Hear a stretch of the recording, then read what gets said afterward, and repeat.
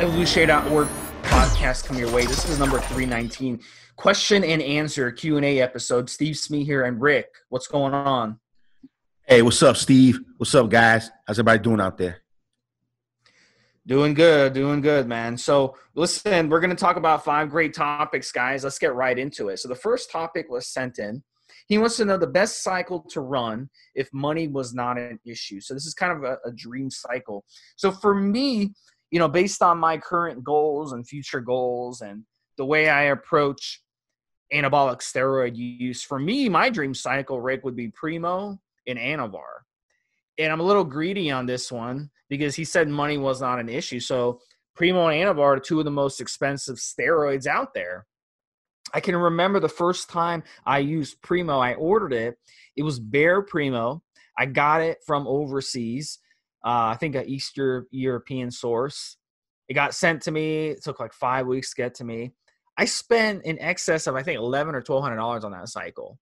Very very expensive, and boy were their injections painful on the Primo. But it was a it was an amazing cycle. It's expensive as heck, but it's a great great steroid. And an Anavar, it's another one um, I'm surprised when I ran Anavar because everyone says, oh, it's a weak steroid, it's a steroid for women. I ran like 50, 50 or 60 milligrams a day.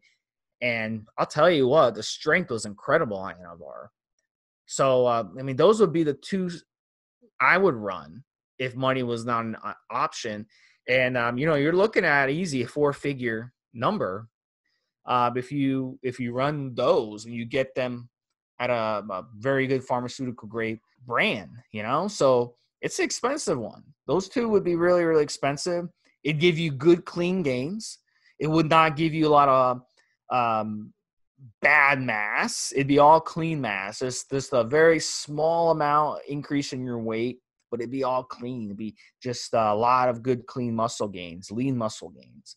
And side effects would be low. You wouldn't have to worry about side effects and uh, gosh, it would be an amazing cycle. Maybe one day, um, if I hit the lottery or something, Rick, I'll, I'll be able to afford a, a Primo and Anavar cycle because that sounds amazing. Together, I've never ran them together. I ran them separately. I can't afford to run them together, but if I could afford it and money was not an issue, that would be my choice. How about you? Hit the nail on the head. Yeah, Anavar and Primobolan, legitimate good Anavar legitimate, good primobolan. If money wasn't an option and legitimacy wasn't going to be a problem, those two be the ones I'd go for. If I wanted to make that cycle more involved, a little bit bigger, give people a little bit more of an outlook out there, Primo primobolan, anavar, human growth hormone, and GW, cardarine.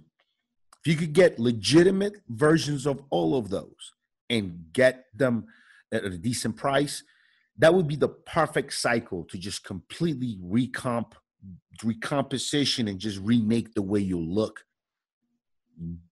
Good human growth hormone between four to eight IU's a day, depending on on what you can tolerate, what your pocket can take, and and what you're looking to do.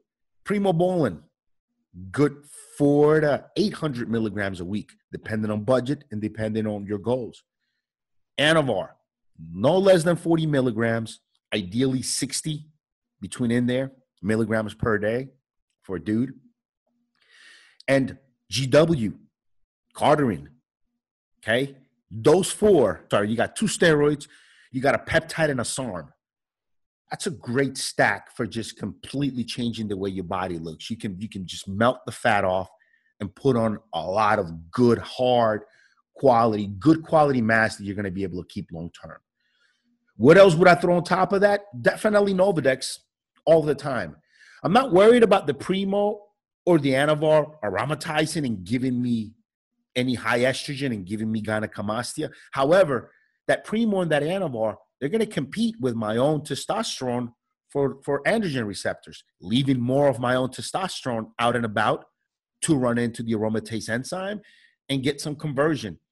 So even while using compounds that don't particularly aromatize, estrogen can still get a little bit high. This is why you'll still get suppression with primobolan and anavar. So I definitely would use Nolvadex on top of that. I would use HC Generate ES to keep me away from being suppressed. And obviously, money's not an issue, right? So I'm using the, the big boy, H Generate ES version, you know, looking at six grams of total active ingredients per day there. Now, I would also use N2Slin 30 minutes before every single meal. N2Slin is going to help that GW and that Anavar together burn fat off of me real quickly. I mean, it'll be unless I'm trying to be an asshole and eat like shit on the cycle, fat's going to be melting off right away while my strength increases, while my endurance increases too, by the way. Obviously, I would take N2Guard. That goes without saying. By taking Anavars and oral, need to take N2Guard. Primo Bone, got to take N2Guard. Now, tell the guys I like to do testosterone with pretty much every cycle. On this one, I wouldn't do testosterone. I would just take HC Generate ES and write that out because I'd want to get to about a gram a week of just Primo and Anavar. That would be that would be golden. Now, if I wanted to get really big, I would add testosterone and masteron to the cycle. Testosterone and masteron, I would add I would add those two in. If I wanted to make this like a real crazy competition, let's say I was going into a, into competition cycle, then it would be something along the lines of testosterone, masteron. That'd kind of be a little bit of my of my base might get away if I tweak those those the dosing right. I might get away with that, with not having to use aromasin, and I could use the Masteron uh, with the testosterone. You know, if I get over 500 mgs of test, I might still need the aromasin. If I add the test, maybe drop the ES. Uh, I don't know. I mean, it, there's definitely a lot of choices I need to make there, depending on my goals. But yeah, long story short, perfect cycle. If money was not an issue, if everything was legit, primobolan, anabar, human growth hormone, and cardarine. Uh, unfortunate thing is those four are all very incredibly hard to find in good quality human grade. So that's it. What do you think, Steve? Yeah, money's not an issue. Trust me, you'll be able to find what you want. There's uh, there's always that availability. You could always just go to a anti-aging clinic. Uh, that's all they want, anyways. Money, right? They want your money. And they won't um, prescribe Primo now, will they? Will an American anti-aging clinic? I know they'll prescribe Anabar, but what about Primobolan? They don't, right? No, they're not going to prescribe Primo, unfortunately, because uh, Primo is illegal. Um, so you can't even get a prescription. Anabar you can still get. Anabar you can still get no problem. And but you, I think yeah, and and human. If you can get your Anabar and your human growth hormone from your clinic, then you get your GW and Primobolan from from a trusted trusted source. That you, you might be onto something. Yeah, um, I would think if money wasn't an issue, though, you could kind of pay someone in another country to just grab you some legitimate pharmacy grade primo and uh, ship it over to you. And even if it was seized, who cares? I mean, money's not an issue. So um, that would be that would be the option. Yep. So, but that yeah, that's a that's a great. What, what countries? What countries still have pharmacy grade primo? Eh, like Greece, I think Italy, maybe France, Greece, Italy, France. What else? And probably those those uh, old Eastern Bloc countries, right? Yeah, like Moldova and those. Uh, those yeah, like Moldova, like Georgia, like Ukraine, like those places. Yeah, yeah I think the misconception is America. Yeah. the misconception is a lot of Americans think that those countries where steroids are, you can just, you know, buy pharmacy grade, grade steroids in the pharmacy that everybody's like walking around all buff and, and muscular. And it's not the case. you know, that's just not the way it works. Culture plays a big role. Culture plays Well, I think, I think it, when it's legal, people don't want to use it you know but when it's illegal ooh you know we get a little eh, now we're kind of being rebellious using it and i think that's part of the allure of steroid use with uh, with people. So yeah, from what you just said though about Primo, now people that are listening they want to use Primo even more now because uh, you, you there's not even it's not even legal to uh, prescribe it. Primo so. is incredible. Primo is an incredible steroid. So we're gonna go into a next topic, guys. The second topic of the day. Number two, being lethargic on testosterone all day and having a hard time sleeping. So, what causes this? So, the number there's a couple things um, that kind of have a domino effect. When you're, when you're running a testosterone, it aromatizes into estrogen. You get bloated. You're carrying around all this water all day. So doesn't that make sense? If you're carrying around jugs of water all day on your back, that you're going to feel lethargic, and then it's going to strain your heart. Your heart health is going to take a beating because you're carrying all that extra water. And then when you have a poor heart health, just like most people in America have sleeping problems And uh, one of the main reasons for sleeping problems is also heart disease. So it's just a domino effect of what's happening here. So the first thing I'd want you to do if I was advising you, if you were my client, is I would tell you go get blood work. Not not tomorrow, not the day after, but now, today. Next chance you get, tomorrow morning, go get blood work. If you go on the form, Steve SMI, my signature, I always have a link to how you can get blood work fast and cheap. It's going to cost you about 70 bucks. I have a coupon code there. 70 bucks. Print it out, take it in to the lab, get your blood work done the next day, you'll get results. And then you'll see is my estrogen out of control? Now, if your estrogen is out of control, boom, that's one of the main reasons why you have this problem. So now you can correct that. You're going to do a combination of lowering the dose and upping your AI, or you can up the AI, but you, you want to see what's going on. Am I even on an AI? Is my AI legit? Is my AI bunk? Is it on? Is my AI not doing what it's supposed to do? So you got to figure that one out. Next, next thing I want to look at is your heart health. Did you go into cycle already with heart health issues? Like, can you run a mile in under eight minutes? If you can't run a mile in under eight minutes, then your heart health is poor, in my in my opinion. Unless you're like 60 years old or something, I don't know. But I mean, anyone who's healthy under 40, you should be able to run a mile in eight minutes, no problem. I mean, I go to the park and I see kids running a mile in eight minutes.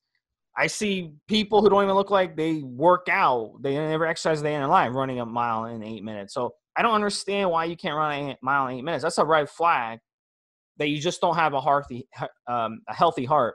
And one of the easiest ways to tell about your heart health is your resting heart rate.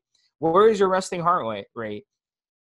60 to 85 is where the normal level. But as an athlete using steroids, you should be you should be in the 50s my heart rate is is 48 to 53 you know and eh, you know that's just that's where an athlete should be you don't you, your heart rate shouldn't be in the 70s or the 80s if you're an athlete using steroids and when you use steroids and you bulk up and you put on a lot of mass it is true you do wear on your heart so maybe your body's telling you something. Maybe your body's telling you you're overdoing it. Okay. Maybe your body's telling you step off the gas pedal a little bit. So I, I would not take this lightly.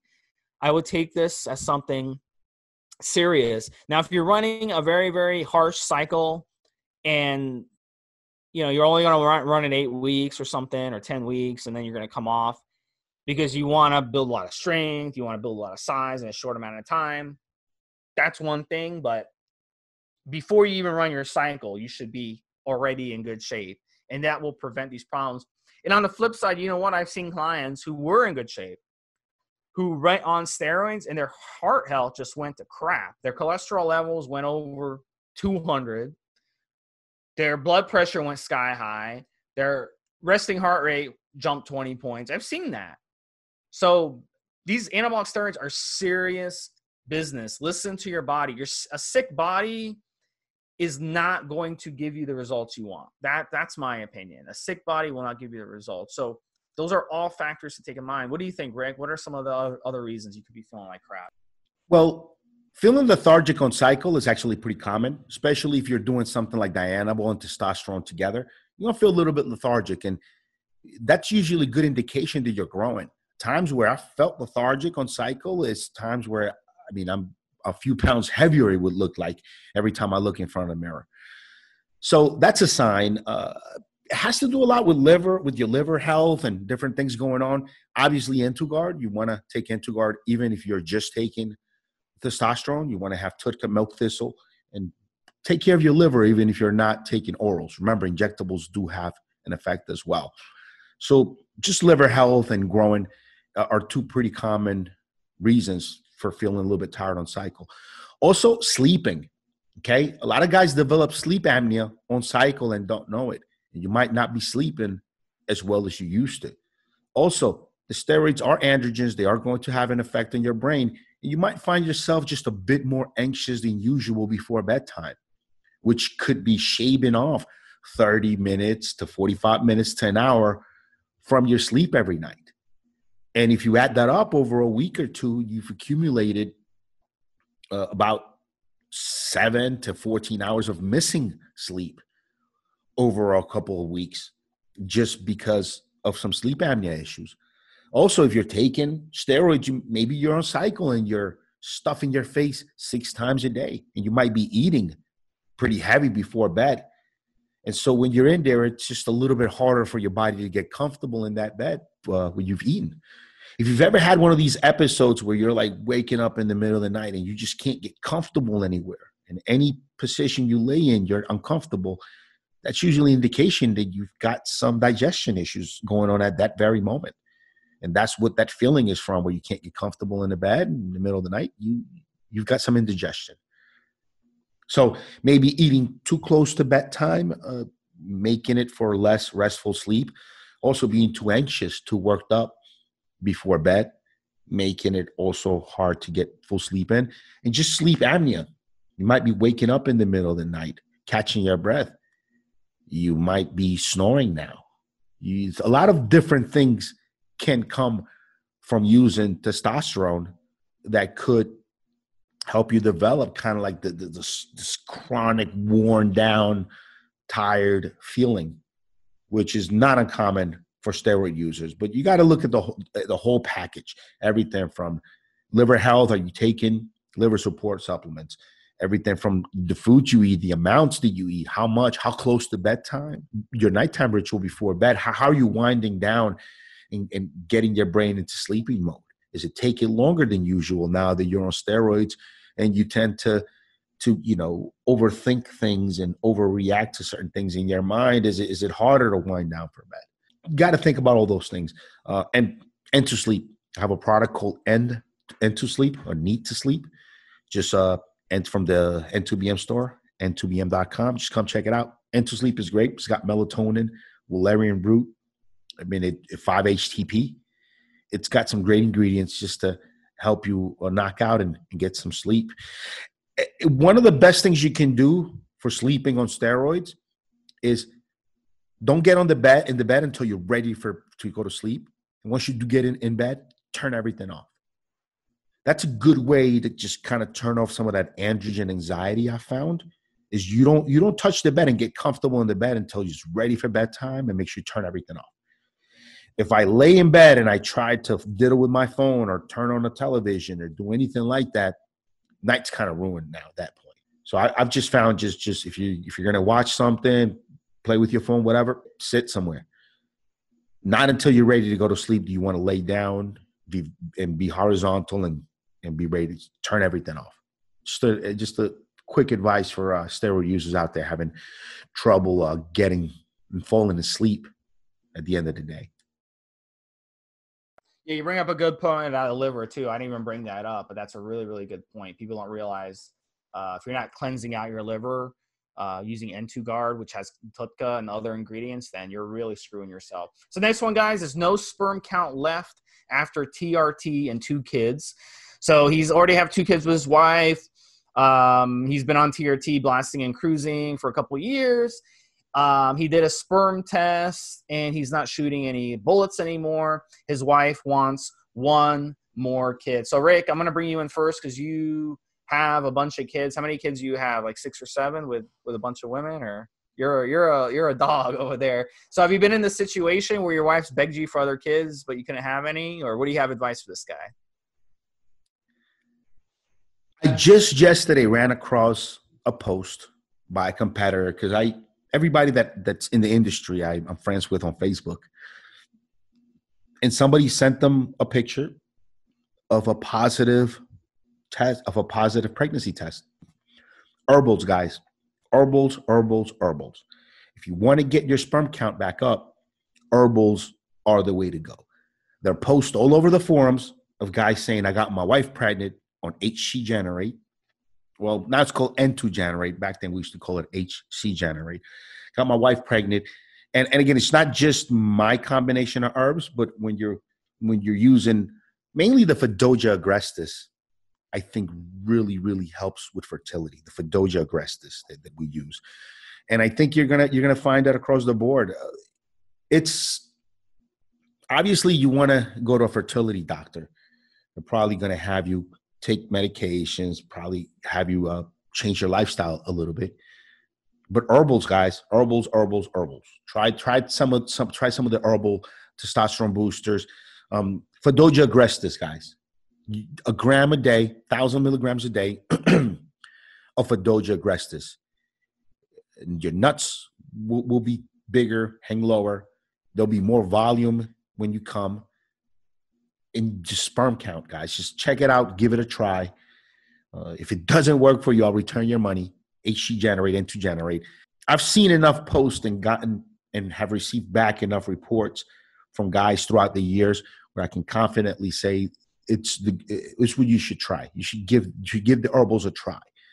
Spermatogenesis and increasing sperm count. My opinion, herbals. Herbals are the way to go. Fadogia agrestis, specifically Fadogia agrestis. If you can stack the Fadogia agrestis with Tongkat Ali, fenugreek, and tribulus, you got something going. That that's the core of the formula in HC Generate. If you can find those ingredients, doesn't have to be from my brand. You can buy them anywhere else. You're gonna see some. You're gonna feel and see the the effects and the results. So, I mean, that's all I got to tell guys on that is herbals definitely. And guys, by the way, this is not something new. I'm not the first guy to say herbals will help with your fertility. Go back thousands of years. You know, shaman, medicine men, witch doctors. Herbs affect the way that our bodies operate. Herbs, plants are also carbon based life forms. A lot of the same ring structures that plants are using within their system to create signals for different parts of the plant. Some of those structures will also create and attach to receptors in our bodies and create signals. So by by experiments and chance, men whose job has been to find medic medicines and find solutions to people's health throughout the millennia have used plants. So I'm not the first guy to propose this. Uh, you can bet pretty much every culture and back in time, guys have been taking some form of herb or another, or some sometimes even some animal organs were consumed in order to help their their fertility, to have babies, create more sperm to get their their significant other pregnant. I mean, it's it's not the first guy to propose this, so it's definitely works. It works, and, and it's got a ton of merit. Yeah, and it uh, it really is a good idea because you really have to come off the hormones. If you keep taking the hormones and you're trying to bring your sperm count back, uh, that's like rolling a you got to get off the steroids. You got to get off the I mean, steroids. It's, yeah. it's it's like rolling a car up a hill, like in San Francisco or something. Um, it's just not going to work. I mean, you really have to come off because those steroids are are signaling to your pituitary glands, stay dormant, stay dormant, stay dormant. We don't need you. So you really have to come off. It's not going to be fun, but the herbs that Rick was mentioning, the N2 Generate ES, it's going to make you feel okay when you come off. It's going to make you, it's going to offset that crash. So you really, really want to use that. Um, and that's, that's going to give you the best chance. And, you know, I've, I've known people in this situation, Rick, um, whose wives have pressured them into having kids. And it's really, really tough. Like if you're in that situation, you don't want another kid, you know, especially now uh, with the economy and shatters. I mean, unemployment rate in the United States is 15%. It's headed to 25%, even maybe the 30% they uh, they think. And I'd be worried about having another kid right now. And um, so, you know, you really have to talk to your wife and and about this. Kids are expensive. I mean, you're talking a quarter million dollars the first 18 years of their life. Doesn't even count college. A quarter million dollars that's expensive. Um, they're a big responsibility. And um, i just saw a show last night about a five year old who uh, got kidnapped right off their uh, front yard. They were playing in their front yard. Some guy came and kidnapped them. It's uh, it's really really bad man having kids. I'm i'm scared. I'd, I'd be scared to have kids. So if you don't want a kid and she wants a kid what do you do rick really quick what, what would be your advice in that situation to someone it's it's a big question. It's a huge question because you you have no idea of what the situation is. The last kind of really serious person that I was with, there's this girl. She um, she wanted babies. She was about to turn 27, had no kids, and she wanted babies. And I told her we would, and I just took steroids and never really got her pregnant. So I I, I was very dishonest in, in that situation. I felt real pressured. So even though I didn't want to, I said yes, but I kept using anabolics. I could shoot in testosterone, so so I was sterile. But she she couldn't say anything or make a big deal about my steroid use. I think if you're a married guy out there and your wife's already a little iffy, already not all good with you using steroids, and then she begins to feel like the steroids are the reason you're not getting her pregnant or she starts to figure it out then now you're now not only are you having to deal with a girl a lady that wants babies and you don't want babies but now you're dealing with someone who doesn't now not only they want babies now they don't want you using steroids. And you want to continue to enhance your physique and your lifestyle. So it could create a lot of friction a ton Best thing is if you don't want any more kids, just be really upfront about it and take the initiative and go get your tubes clipped. You know, just take the initiative and go get your shit clipped. Especially if you already had two with her, it's a done deal. I can see if maybe the two were yours and she had no babies, and then she's begging you to make her a baby. I can see that but you already got two with her running around and you don't want any more. It's kind of sort of your choice too, right?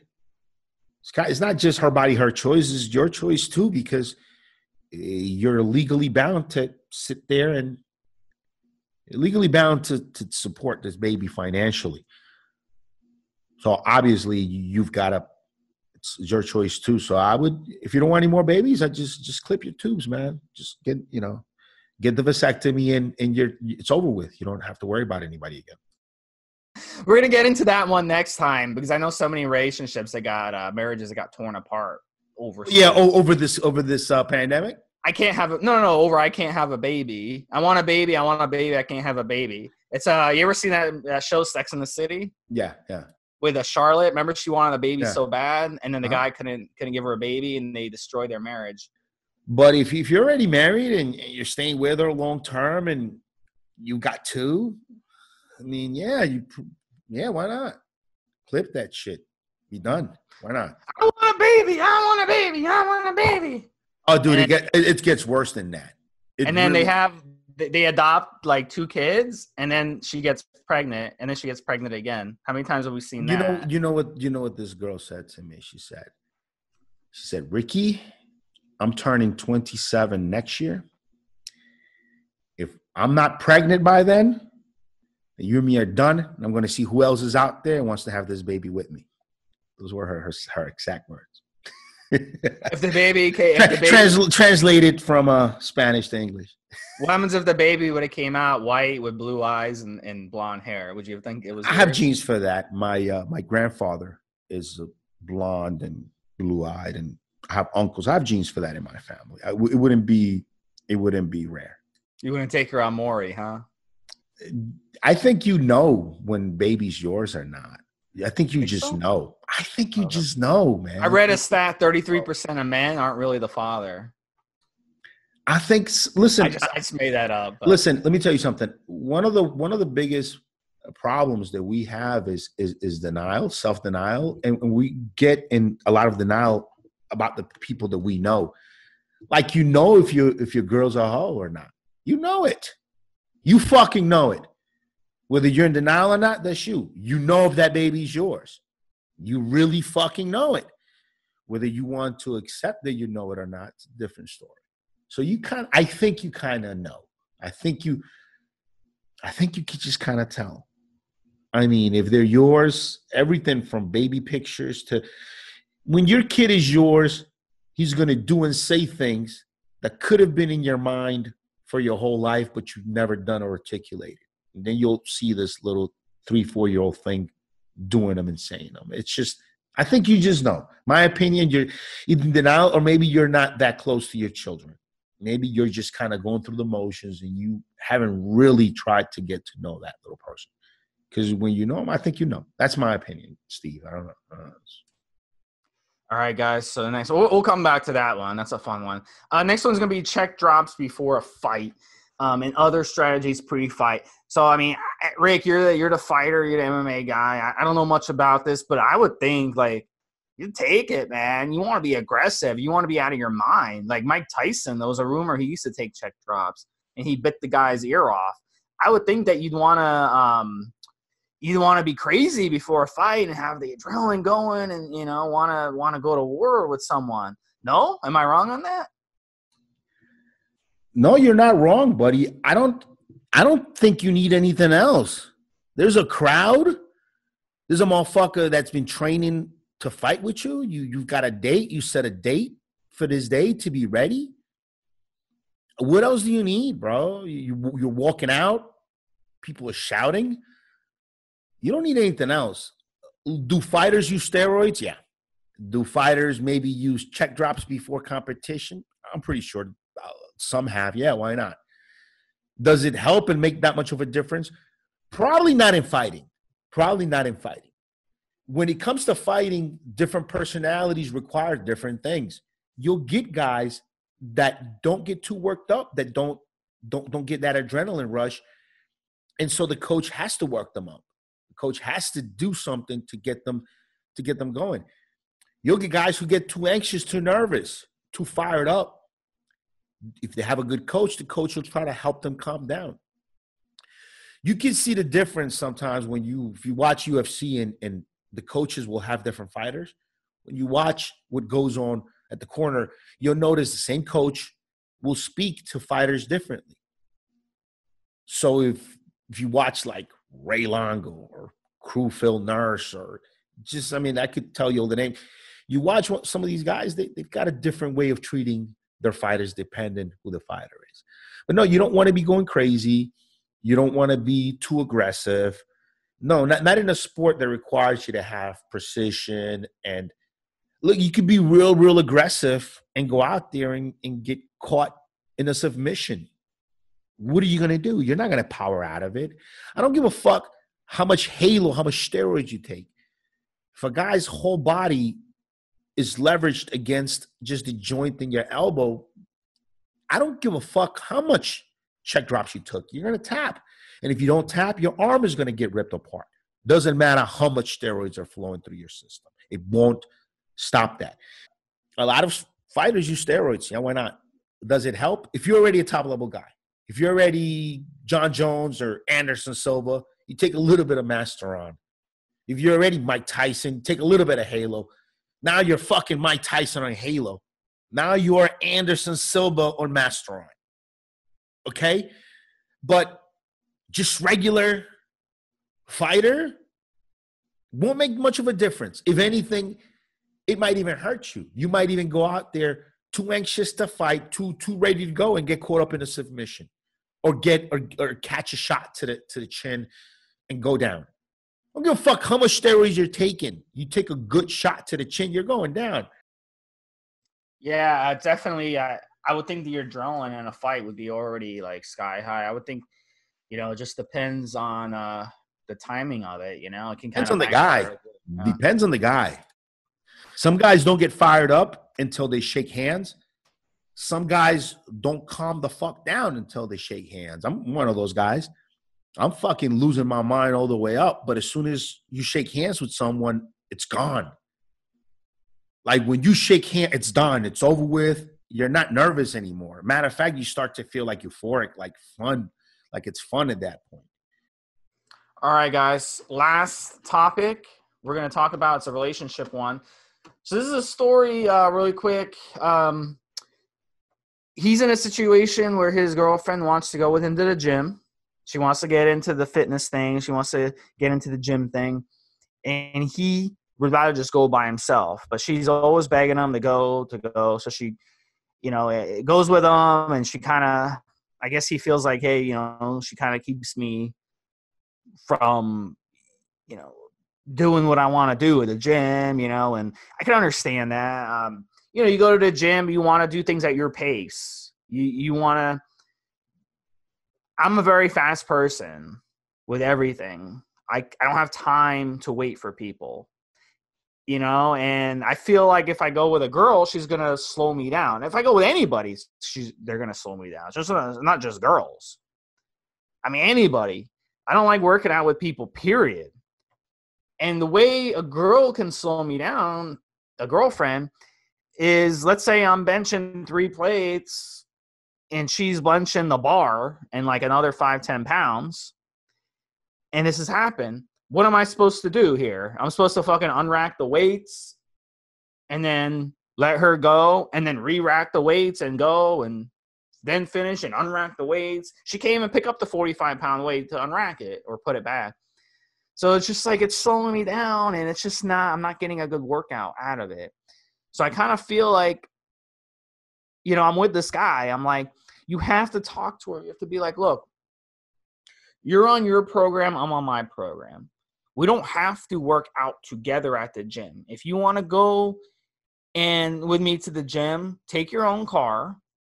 You know, let me go at my pace, you go at your pace and afterwards, you know, we're going to go 30 minutes, 40 minutes, 50 minutes, whatever. You do your thing, I do my thing. And then after, let's get back let's get back together and we'll do some stretching. We'll do some stretching afterwards. We'll do some, you know, rest, uh, rest postures. We'll do some, you know, you help me stretch because she's going to be better at stretching than I am for the most part. Women are more flexible than men for the most part.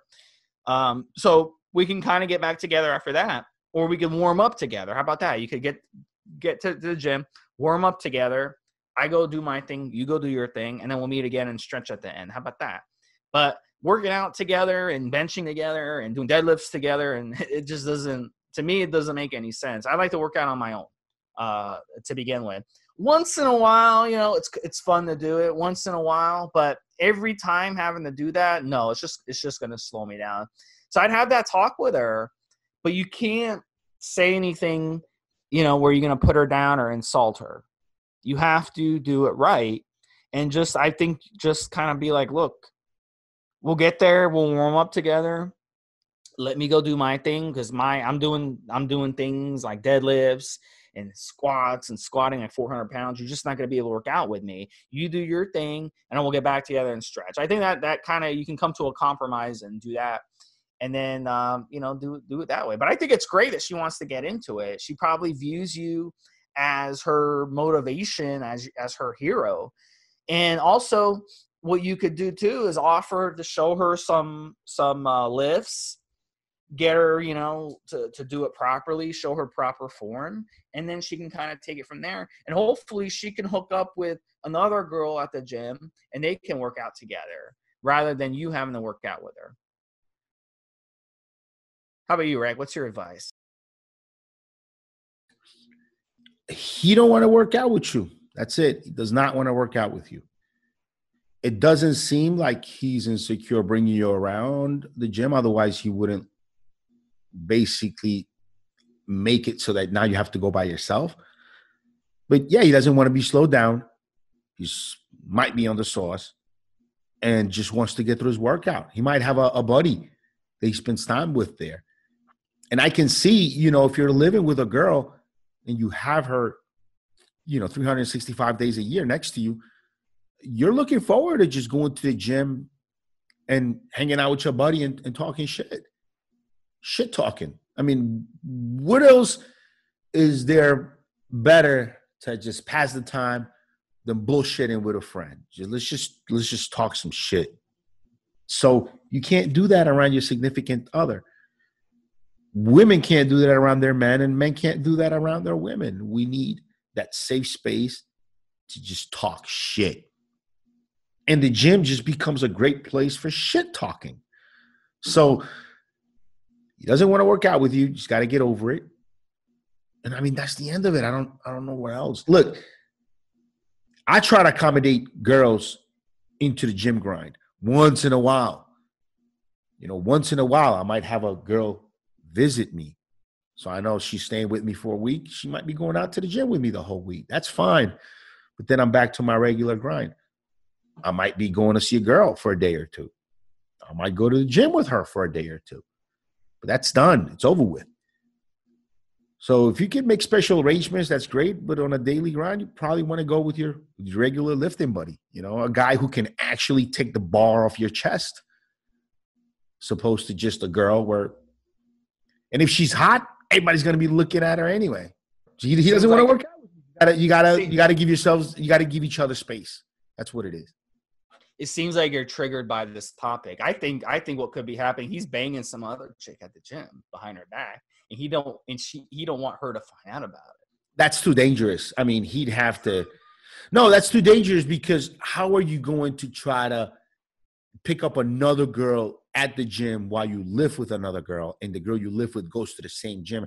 The other girl's got to be in on it. The other girl's got to know you have a girlfriend, you know, and maybe um maybe it's one of those weird, weird, weird relationships where she knows she's the side girl and you have a, a regular girl, but she still kind of acts jealous of you and your girl.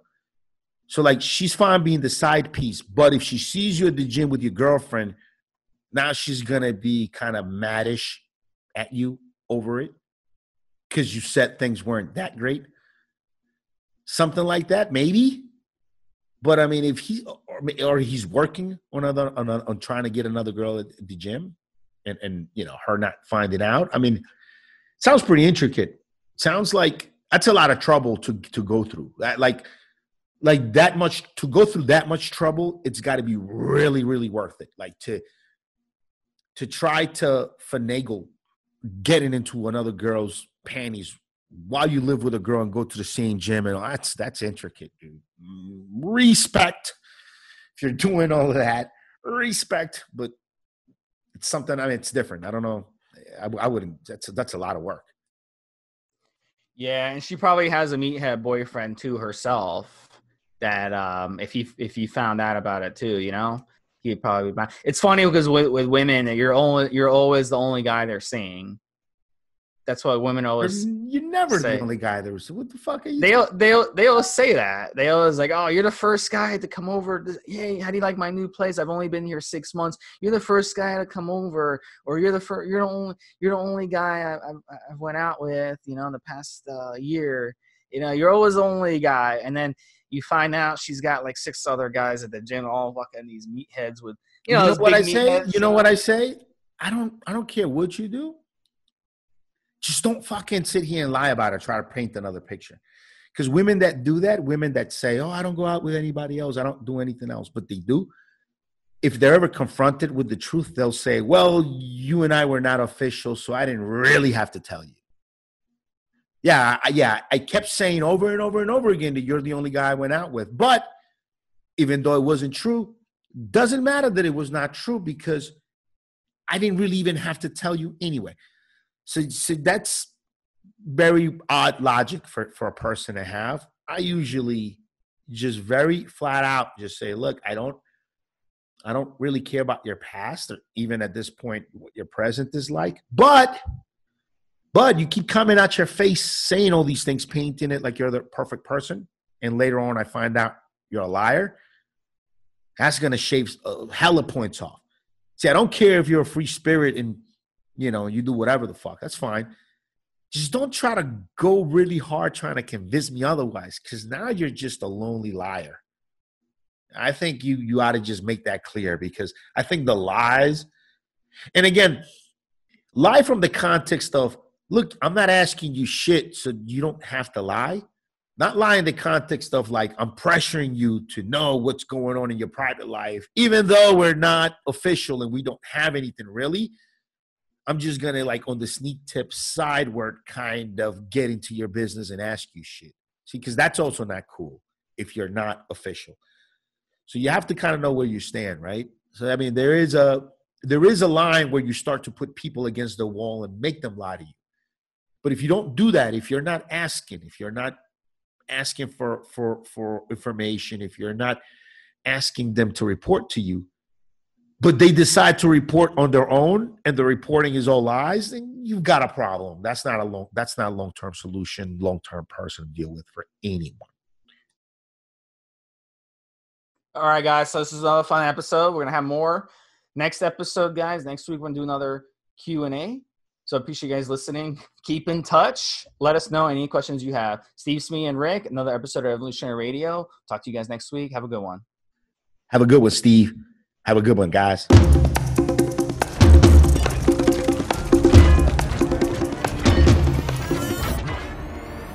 Guys, this is the required legal disclaimer. We are only sharing our experience from years of steroid use. We are not doctors, and none of what we say should be regarded as medical advice. Always check with your doctor before taking any drugs or starting any training program.